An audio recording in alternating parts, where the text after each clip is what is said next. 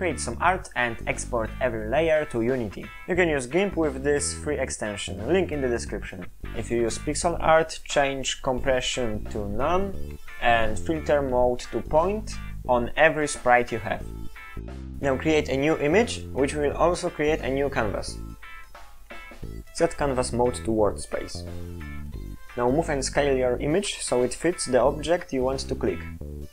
Add a event trigger, add pointer down event and put there your new script. You'll have to add this to every interactive object in your game. Time for some programming which is fun for weirdos like me. If you want to have a look on my scripts from my newest game, check the link in the description. The script contains actions that player can do, checks what items player has, and picks the action based on the item, like kick, touch, equip. After it picks one action, it tells player's character to go where we have clicked. I used a simple coroutine for this, but we will check that out later. And in my game, if player touches or kicks the object, it jumps to the object reaction script, which is a new script but very simple.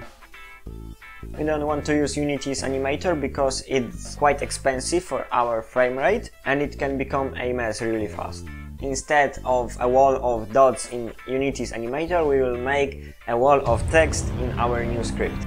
It looks scary, but it only contains types of animations and our animations, which can look like this or like this. It's all about your preferences and what you want to do in your game. If you don't want to make any complex animations in your game, maybe you just want to swap sprites, you should use this code. Or maybe something like this if you want it to be more advanced. And at the end of your animation, add something like this. For example, you want to use these two lines if you want to go to the next room, to the next building, or maybe you have just won the game and you want to load you win screen. Let's check out walking script.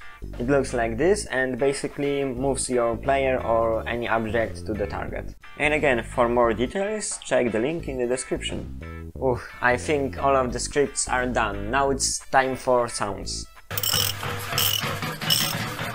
And you play the sounds with this code.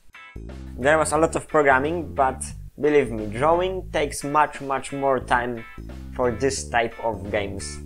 When you are done with everything, you can put your logo on the loading screen and that's it. That's how you can make point and click game in general.